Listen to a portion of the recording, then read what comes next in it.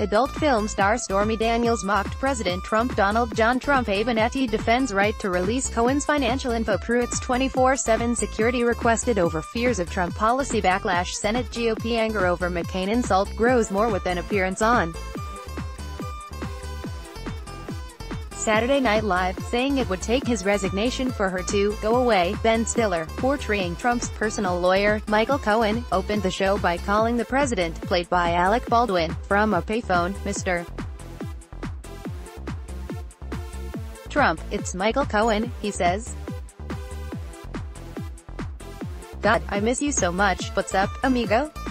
How are you holding up in prison? Baldwin's Trump asks, I'm not in prison. Stiller's Cohen responds, oh well, give it a couple of weeks. Baldwin's Trump says.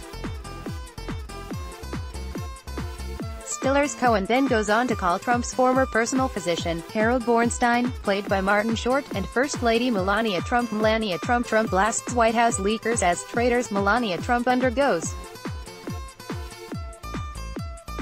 Knee surgery Twitter users share immigrant success stories after Kelly says vast majority don't have the skills to assimilate more, portrayed by Cecily Strong, on a series of burner phones.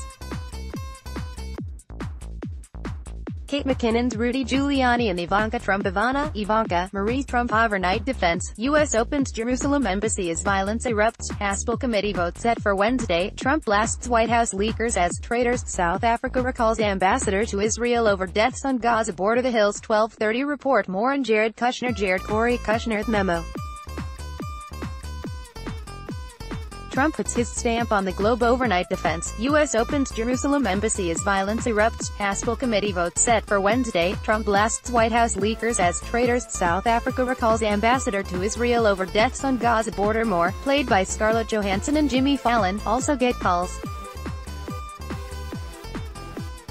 Giuliani, the newest member of Trump's legal team, sparked controversy last week when he said Trump had reimbursed Cohen for a $130,000 hush money payment to Daniels. Giuliani said Saturday that the payment was made to protect Trump's family, rather than his campaign for president.